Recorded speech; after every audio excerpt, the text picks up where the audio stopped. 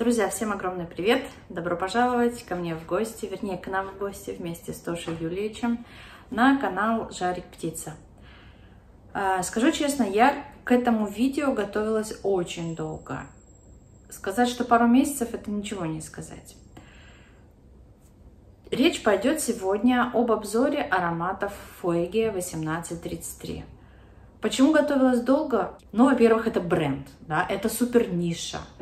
А, эти ароматы достаточно сложные, интересные, и хотя порой в них около трех нот, но ароматы реально очень тяжело прочесть, по крайней мере мне. Ну и, э, во-вторых, э, эти ароматы мне прислала Дарья. Дарья, привет тебе огромный. Э, Дарья поклонница этого бренда, поклонница Фуэги, чего, честно говоря, я не могу сказать о себе. Но в любом случае я благодарна тебе, Дарья, за то, что ты меня познакомила с этими ароматами. Ну и что из этого получилось, сейчас посмотрим. Эм... Ароматов будет приличное количество. Э, я писала свои впечатления в дневник, э, потому что периодически прикладывалась. Впечатления все были всегда разные, поэтому буду немножко пользоваться им, своими подсказками, чтобы понять э, все-таки, изменилось ли мое впечатление или нет. И, ну и заглядывать в ноты в том числе. Ну что, друзья, не будем тянуть.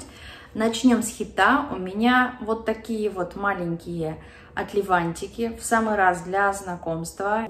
Итак, я вот буду наносить уже вот так на кожу, потому что, скажу честно, исходя из того, что ценник э, большой, ну, будет кощунством выливать э, на блотеры эти ароматы. Тем более, что их осталось немного, я их разнашивала достаточно долго, часто. Ой, ну из кожи нужно слушать эти ароматы, потому что они действительно очень-очень сложные. Итак, что я слышу в Якине? Для меня это вот прям зеленый фужер, очень травный аромат. Э, слегка с кислинкой, но в старте это горечь травы. Какой травы мы узнаем а, чуть позже. А, посмотрю, что нам скажет Фрага. Я, честно, в травах не очень разбираюсь. Но это прям аромат свежести. Очень зеленый. А, в составе у него амбра, а, трава железница и зверобой. Вот, вспомнила. А, но для меня это аромат вот именно с какими-то лекарственными нотками. Я не поленилась, заглянула в Википедию, чтобы узнать, что же такое за железница. Это э, действительно лечебная трава, которая в народе называется лимонником или татар-чаем. Ну, цитрусов я в Якине не слышу, а вот именно травы и в базе какую-то животинку. На фраге также аромат характеризует как амбровый, свежий, животный, сладкий, бальзамический. Ну, честно скажу, это не моя тема, хотя вот в жару обонять его очень даже приятно. Он реально освежает. Но запах лекарства меня не привлекает. А, но в любом случае я Дарья благодарна за то, что а, она меня, ты, Даш, познакомила меня с хитом Фуэги. А, я знаю, что это твой любимый парфюм один из, да, а, он весьма-весьма интересный, достойный. Но, честно скажу, что это не моя тема. Так, а мы переходим дальше. А, и это тоже будет хит. Он называется «Вавилонская библиотека». Вот он. Так. И давайте мы нанесем на кожу на другой пальчик.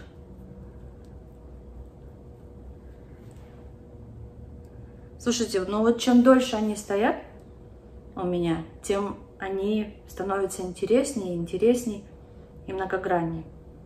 Ой, какой он плотный. Очень плотный. Знаете, вот сейчас мне кажется, что здесь есть э, ноты корицы, какие-то пряные нотки. А, я пишу, что старт сухой, пронзительный, пахнет еще деревом, да, чудится специи, корица. И вот эта корица, прям вот она солирует в этом аромате. И что же мы видим? Всего три ноты. Кедр, махагони и корица. Ура, я угадала. Я угадала, и это очень приятно, потому что такое бывает со мной редко. Но, опять же, для меня этот аромат не совсем носибельный, потому что я не люблю запах корицы ни в парфюмах, ни в еде.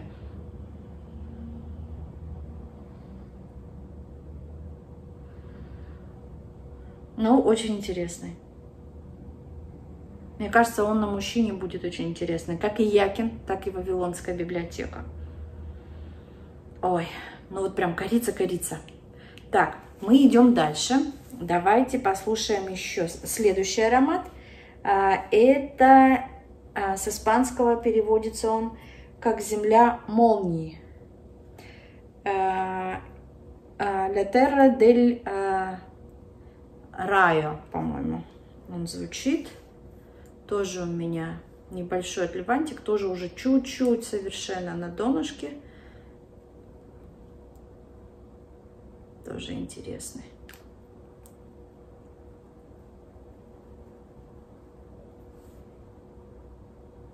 Ой, ой.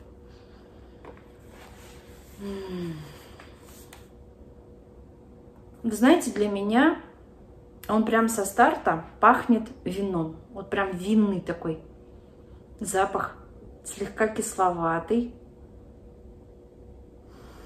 Слышу ли я здесь розу? Возможно, но здесь есть какие-то ягоды, возможно, слива а может быть я ошибаюсь, но это запах именно вина, красного вина. Хм. Вот прям красно-терпкое сухое вино сорта темпранилью. Ну и еще как будто копченый чернослив. И вот это вот впечатление о том, что это винный аромат, меня не покидает. То есть вот я его как раньше слышала винным, так и слышу сейчас. Возможно, еще здесь есть кожа.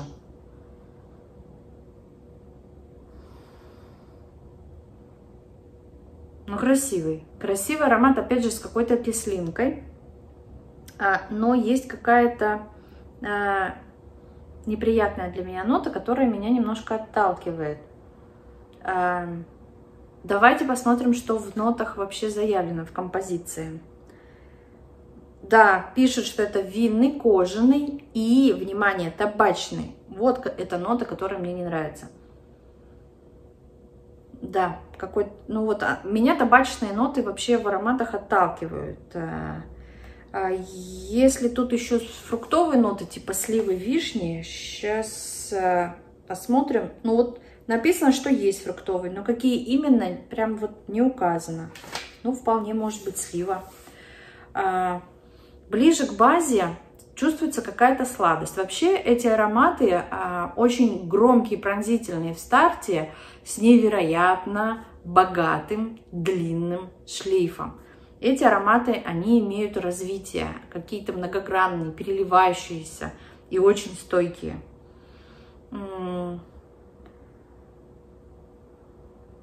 ну, скажу опять же, не совсем для меня аромат, поскольку есть нота табака. Если бы не было вот этой табачной ноты, а кожа была бы более мягкая, э, то этот аромат бы мне нравился больше, и я бы, пожалуй, его носила. Опять же, мне кажется, он хорошо будет на мужчине. Э, вот прям играть и красиво себя проявит. Более мягко, что ли. На мне это как-то грубо очень звучит. Ну и мы идем дальше, мы смотрим еще один, вернее слушаем еще один аромат, который называется пленница Ля Каутива. Откручиваем, опять же сделаем намазик.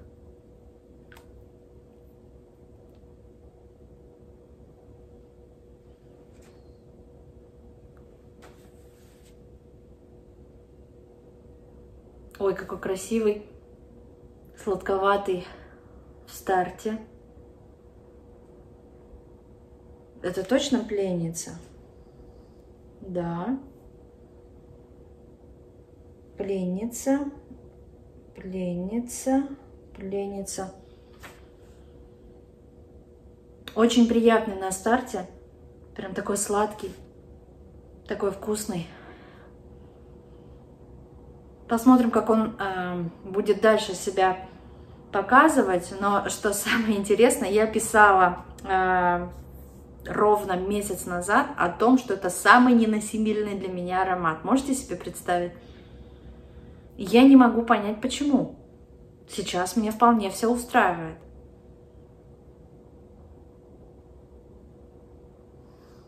Он очень приятный, очень мягкий, очень нежный. Э, такая прям гурманика. А потом появляется какая-то кислинка. Давайте посмотрим, пока он немножко расходится на моей коже в помещении. Посмотрим, что я про него писала. А, почему он самый неносибельный? Из-за животины, которую мускус в этом аромате дает. Вот пока я мускуса не слышу. Он прям весь такой сладенький-сладенький. Давайте-ка я его еще нанесу. Но это прям аромат интрига. Что? Что с тобой случилось? Может быть, э, в жару ты себя немножко по-другому проявил? Где эта животина, которая меня э, так разочаровывала месяц назад?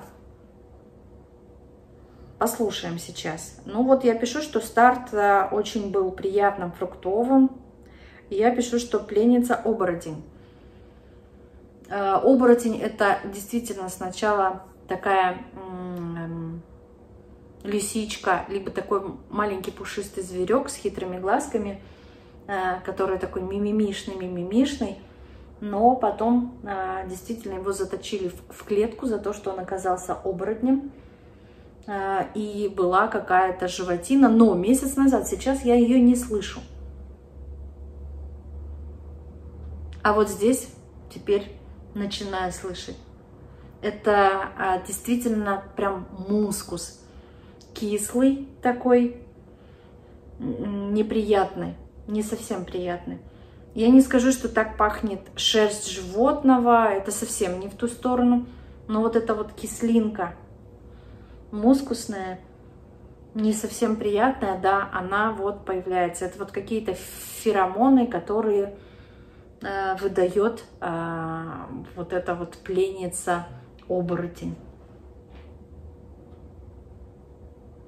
Ну, вот если бы не вот эта вот базовая нота, которая вот потом в шлейфе себя проявляет, пленница бы для меня была вполне носибельной, но оказалось наоборот. Это самый неносибельный аромат в базе. Ну, а мы идем дальше. Еще один нашумевший аромат, как и все предыдущие. Тут уже его вообще чуть-чуть-чуть-чуть осталось, да совершенно на дне. Вы знаете, у меня кот, вот вы сейчас его слышите, как он мяукает, он учуял пленницу. Вот этот мускус. И вы бы видели, как он вводит мордой, принюхивается в мою сторону. Кс-кс-кс, иди сюда, иди сюда, иди понюхай меня.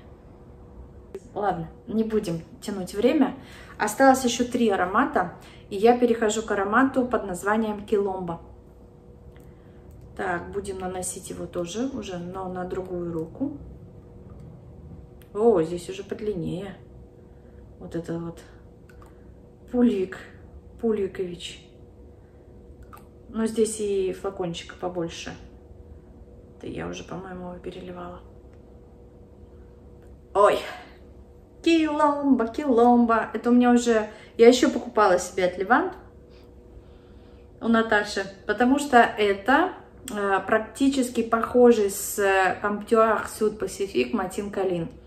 Это манная либо рисовая молочная каша со сгущенкой. Это вот прям либо лей де концентре от Шабо. Тоже в эта же история. И Даша мне даже присылала для сравнения вот как раз от Шабо аромат вместе с Киломбо. А, это прям гурманика-гурманика. Очень они похожи. И здесь тоже есть какая-то кислая нотка вот этого мускуса, животинки какой-то. И опять у меня кот принюхивается к этим ароматам.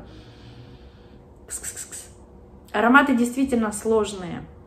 Сложные в восприятии даже, потому что они очень плотные, они очень разные. И несмотря на то, что вот немножко нот замешано в них, да, а, не такая богатая пирамида, но они очень-очень-очень интересны. И я не скажу, что вот это вот прям э, аромат прям один в один с Матин Калин, либо с Лейды Концентре от Шабо. Э, он все-таки какой-то вот дорогой. Но если вы хотите что-то вот похожее, то Матин Калин, пожалуйста, Камтюах Суд Пасифик, он стоит, наверное, в сто раз дешевле, чем этот аромат.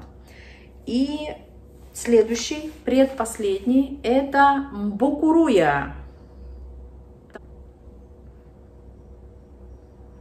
Это смесь фруктовая на старте. А, причем здесь я слышу манго, либо маракуя. Ну, скорее всего, это маракуя, потому что название созвучно. Букуруя, маракуя. Но это вот в ту сторону, причем это такой переспевший даже фрукт который немножко начинает горчить. Ой, прям сладкий-сладкий, прям это фруктовое пюре. А, мбука, еще сокращенно называют этот аромат.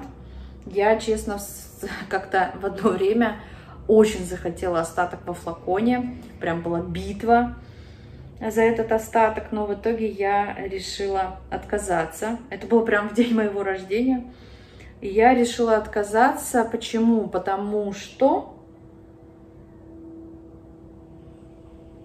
для меня это очень странный стал непонятный аромат на моей коже, он опять начинает кислить. И вот как в предыдущих двух ароматах, в пленнице, в киломбо, я слышу вот этот вот неприятный запах какого-то чего-то кислого. А здесь тоже три ноты. Маракуя, цитрусы и молоко. Но, честно, не могу. Не могу я его носить. Его, кстати, сравнивают с манговым ароматом. Royal, Royal Mango от Мартина Микалев. А, с Круз Дель Сур 2 от Ксерджов. Я, кстати, тоже в свое время очень хотела приобрести этот аромат. И опа, его сравнивают с ароматом, который есть у меня уже. Это Айви Коли Виа Фиори Кьяри от Трусарди. Но я не скажу, что это прям один в один аромат. Нет, там есть еще алкогольные ноты, и вот этой кислинки нету. Там еще есть смородина, здесь смородины нету. А, это совершенно для меня два разных аромата, причем тот носибельный от Трусарди, Бука нет. И финалочка. Финалочка это аромат э, Фужер он фуэге, фуэжер, наверное, так. Ну, вот читаю как фужер. И, собственно, а, это Фужер Фужерович. Само название говорит за себя. Давайте я его нанесу. Нанесу туда, где у меня пульсирующие точки. Почему? Потому что вот это аромат, пожалуй, единственный из всех, который мне очень понравился. А, почему? Потому что вот у них с Якиным общее это то, что они оба зеленые, они оба свежие, они вот пахнут вот травами, сочными травами. Но если Якин, а, он для меня больше лекарственный, то этот больше а, в сладость, фруктовость, мне кажется, что здесь есть инжир. Он слегка такой пыльноватый, терпковатый, но со сладинкой. Запах листы, запах чистоты. Так охарактеризовывала его я. А, запах утра, утренней росы на зеленом листочке. Ну вот это действительно так. Это прям такой какой-то уют, а, свежесть, особенно сейчас в 30-градусную жару. Это кошмар. Вот, а, он меня приятно удивил. Это действительно тот аромат, который мне понравился больше всех. А, и да, в нем есть инжир, а еще есть в нем петит грейн и мускус. Ну, причем, вот опять же, смотрите, всего три ноты, но насколько вот эти ароматы сложные, действительно, вот в мое, для моего восприятия, для моего носомозга они сложные. Там, где нет мускуса, я слышу какую-то животинку мускусную. Там, где мускус есть, вот как в последнем, да, аромате фужер, мне он нравится. Вот такое вот сочетание несочетаемого на мой вкус, а, да, оно дает вот такой вот разный эффект. Я понимаю, что мое мнение, мое впечатление об этих ароматах может не совпадать с вашим, и это нормально. А, я знаю многих людей, которые вот прям являются поклонниками этого бренда. Я этому рада. И я хочу поблагодарить тебя, Даша, за то, что ты познакомила меня с этими ароматами. И самое главное, сохранила мой кошелек целости и сохранности, потому что эти ароматы стоят безумно дорого. А, это еще одно дело, да, а еще их очень сложно сейчас найти. Ну и а, я попробовала их, познакомилась с ними и понимаю, что могу теперь спать спокойно, потому что я не хочу ни, ни один из них офлаконивать, я доношу а, вот эти а, замечательные ароматы а, вот в таком вот объеме, тут уже осталось совсем по чуть-чуть, и буду вспоминать их а, благодаря этому видеообзору. У меня на сегодня все. До новых историй. Пока-пока.